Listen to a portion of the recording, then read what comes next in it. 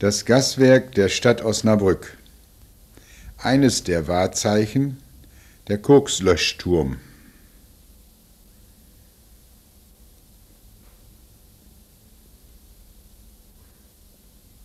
Ein Modellbild von der Luisenstraße aus gesehen, links der große Gasbehälter.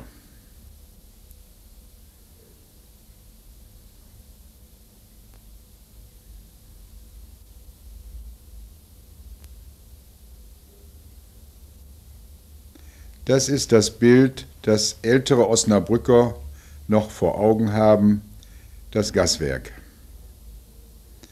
Ein Blick vom Gasbehälter aus 60 Meter Höhe, im Hintergrund die kleinen Gasbehälter entlang der Liebigstraße.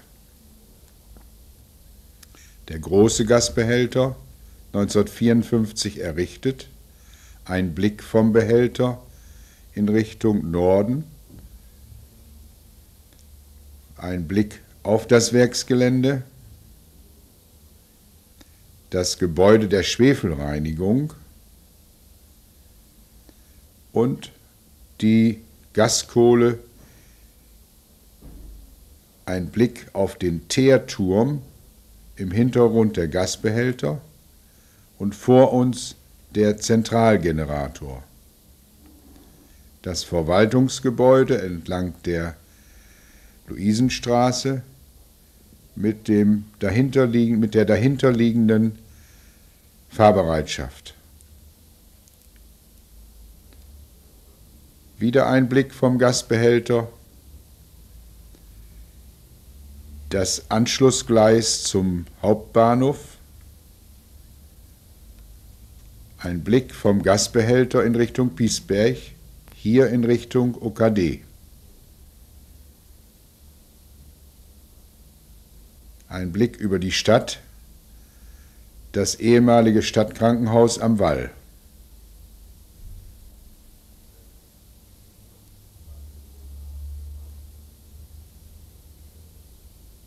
Das Werksgelände vom Behälter aus gesehen, die feuerlose Lokomotive die die Kohle, die vom Hafen über Gleise zum Bahnhof und zum Gaswerk mit dieser Lok befördert wurden. Die feuerlose Lokomotive, der Turmdrehkran, der die beladenen Kohlewaggons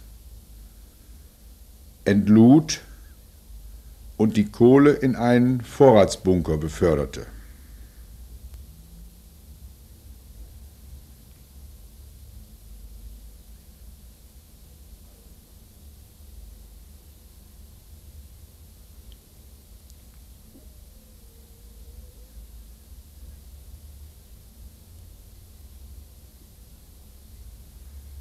Das Gas wurde bekanntlich erzeugt aus einer Gasflammkohle,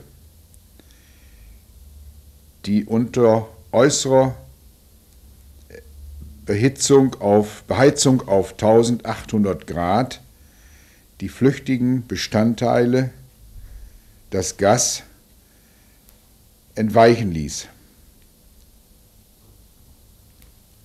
Der Aufzug, der die Gaskohle auf die Plattform des Ofenhauses transportiert und die Kohle in einen Vorratsbehälter fördert. Ein Blick in das Ofenhaus. Es waren acht Öfen in Betrieb mit insgesamt 46 Kammern, Gaserzeugungskammern. Jede Kammer konnte 2,4 Tonnen Kohle fassen. Hier ein Blick auf die Teervorlagen, denn in dem erzeugten Stadtgas war auch Teer enthalten.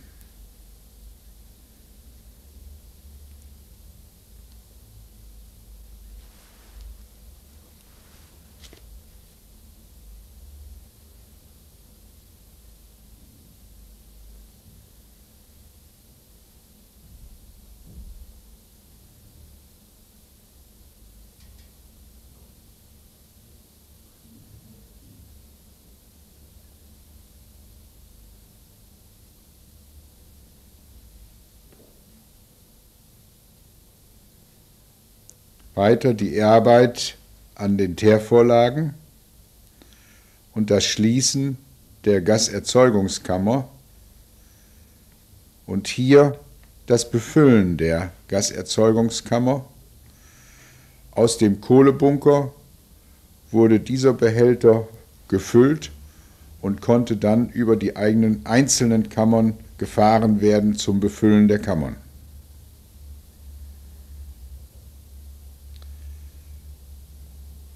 Gaseigenerzeugung wurde im Januar 1858 in Betrieb genommen für zunächst 340 Gaslaternen zur Beleuchtung der Straßen.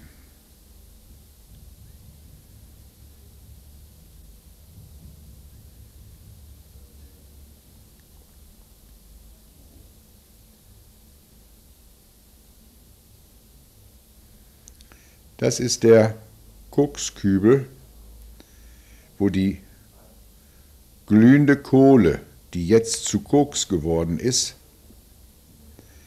aus den Kammern aufgefangen wurde und jetzt zum Ablöschen unter die Brause gefahren wird.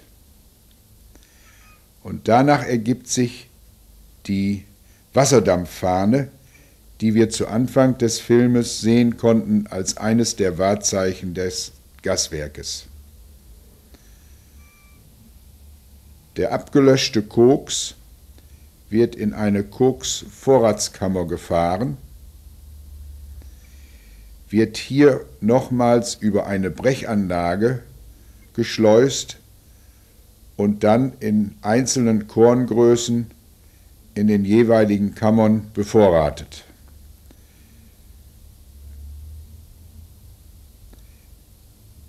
Die Koks-Siebanlage.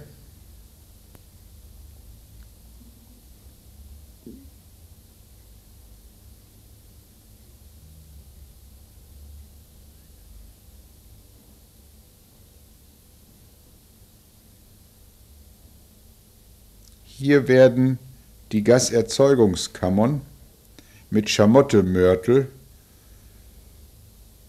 repariert ein Blick in das Innere der Kammern.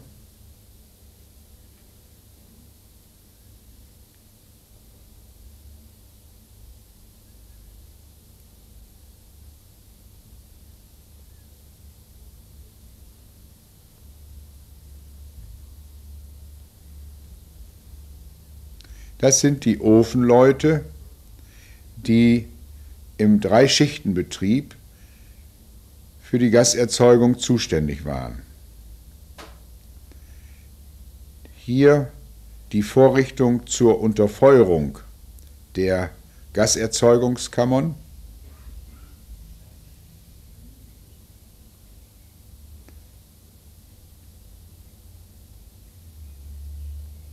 Diese Unterfeuerung musste von Zeit zu Zeit von Asche befreit werden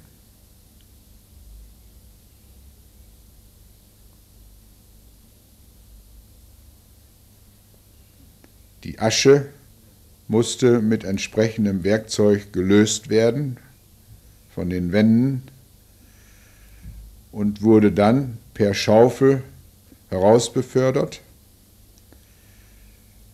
Diese Asche wurde nochmals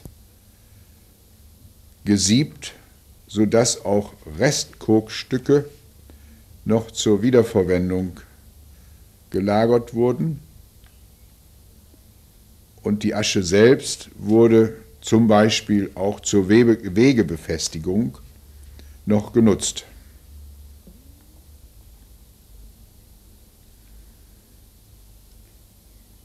Eine schwierige Arbeit, vor allem auch an Wintertagen, wo bei dieser offenen Tür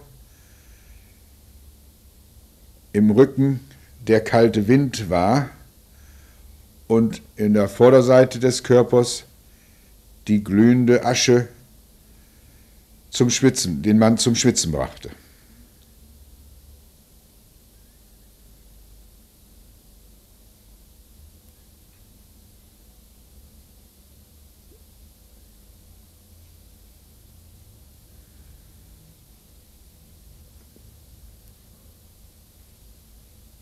Das ist ein Blick entlang der Unterfeuerungsanlage der Gaserzeugungsöfen.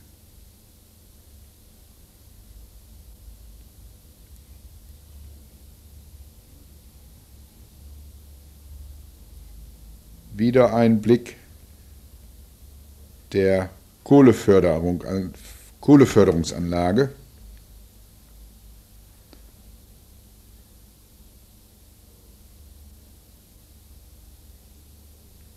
Der Zentralgenerator,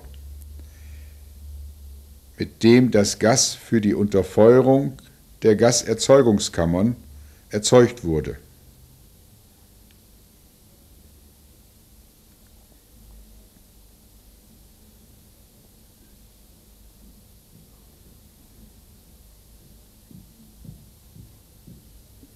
Ein Blick auf den Teerturm im Hintergrund. Und hier sieht man die Rohrleitungsverbindung vom Ofenhaus zum sogenannten Maschinenhaus.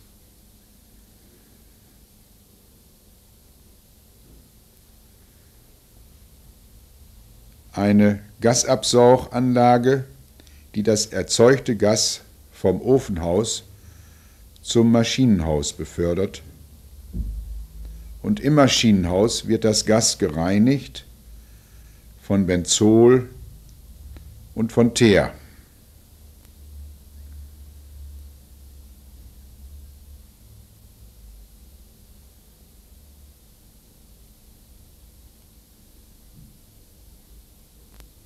Anzeige für, die, für den Gasbehälterinhalt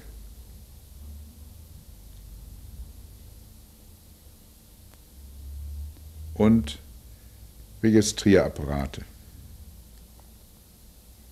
Ein Teerscheider zum Ausscheiden des Teers im erzeugten Stadtgas.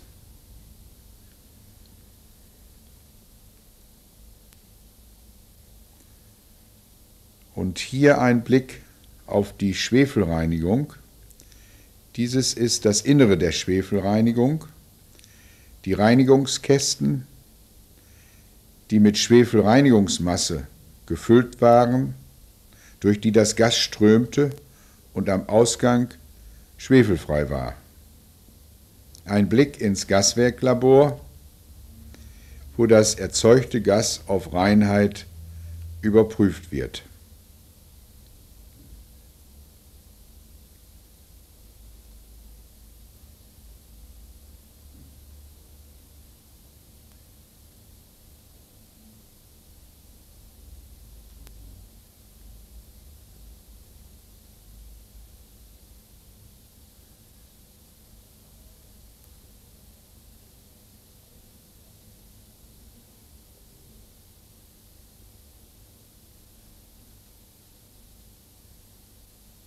Ein Gaskalorimeter, mit dem der Brennwert des Gases gemessen wird. Das Stadtgas hatte seinerzeit 4200 Kilokalorien pro Kubikmeter.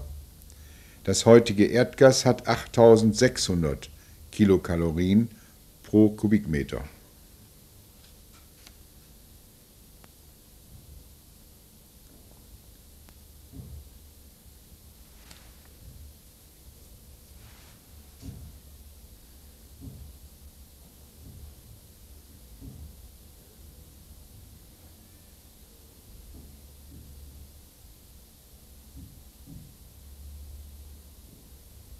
Die gefundenen Werte müssen dokumentiert werden, was durch den Gaswerks, was durch den Laborleiter geschieht.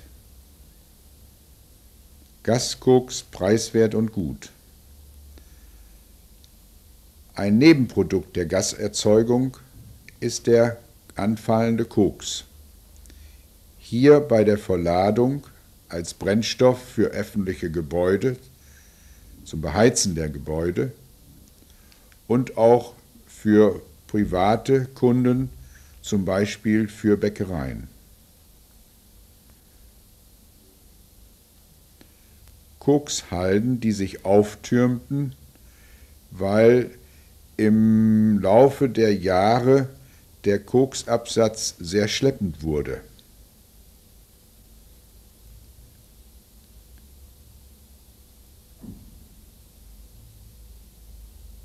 Die Zeit der Ölheizungen lief an, sodass viele der älteren Koksheizungen aufgegeben wurden und auf Gas auf Ölfeuerung umgestellt wurden.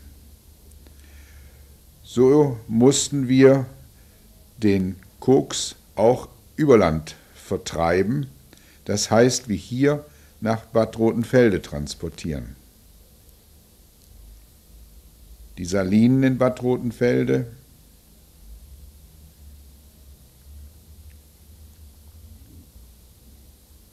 und hier der Transport durch das Eingangstor des Kurparks.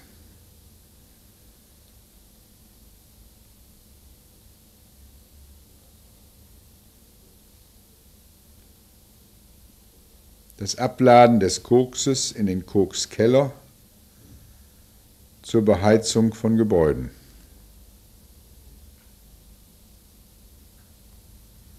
Auch in Richtung Schledehausen wurde der Koks transportiert.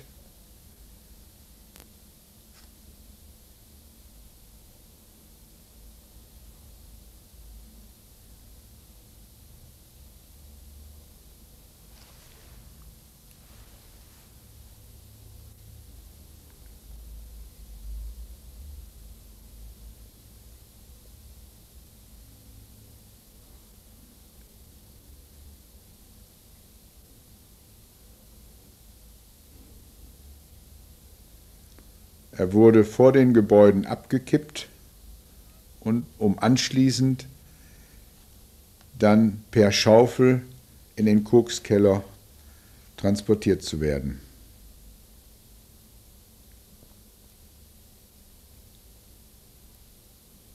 Selbst nach Diepholz wurde der Koks gebracht.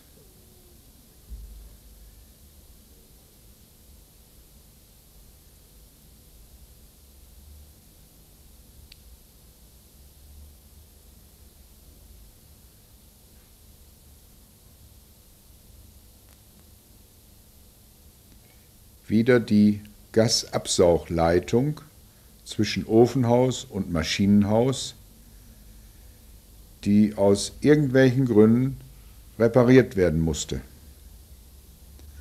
Eine Leitung mit einem Durchmesser von 60 Zentimetern.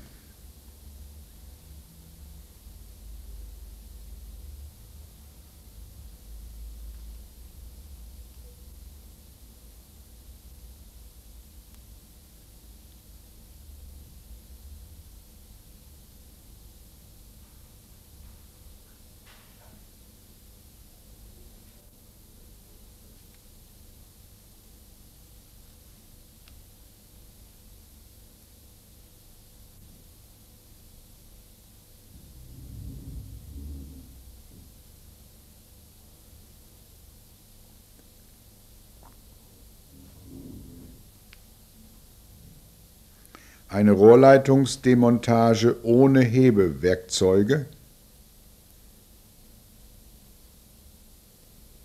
Die einzelnen Rohrleitungsstücke sind über Flansche miteinander verbunden und so auch wieder voneinander zu trennen.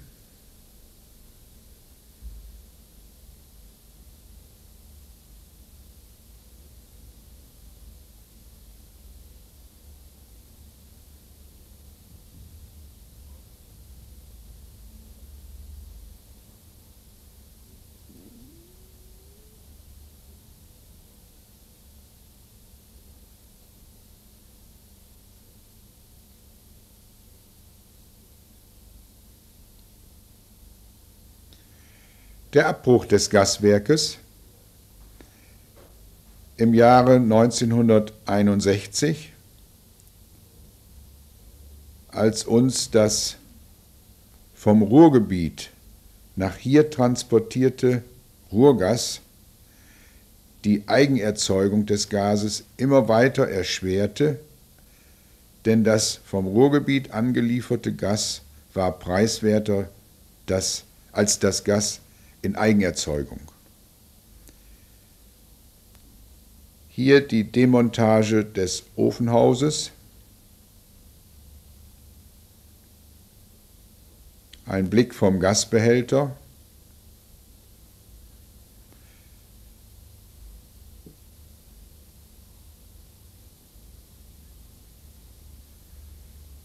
Ein Gaswerksbetrieb ist immer ein staubiger Betrieb, wie man hier sieht. Wieder ein Blick vom Gasbehälter auf die Abbrucharbeiten.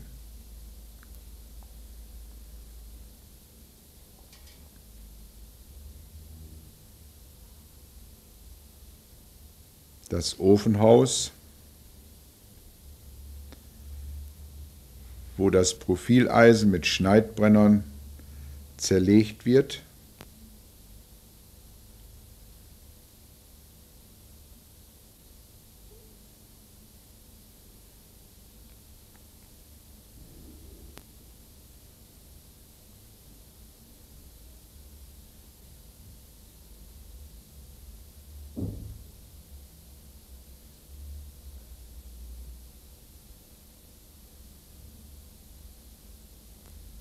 ein Blick in die Gebäudeöffnung zum Koks-Vorratsbehälter. Die sogenannte Laufkatze, die den Kübel nach oben transportierte, den Kübel mit dem abgelöschten Koks, wo hier eine Resthalterung getrennt wird und die Laufkatze letztendlich zum Abstürzen bringt. Im Zuge der Abbrucharbeiten des Gaswerks. Hier ein Blick wiederum vom Behälter aus beim Fällen des Schornsteines. Der zweite Schornstein wird gleich ebenfalls in sich zusammensinken, maßgerecht zwischen die beiden Gebäude hindurch.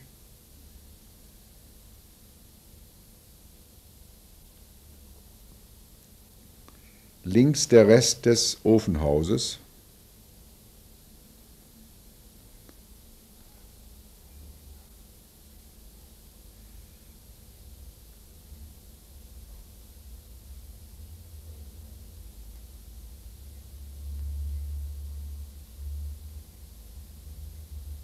Die im Vordergrund liegende Leitung ist die Verbindungsleitung vom Maschinenhaus zum Gasbehälter.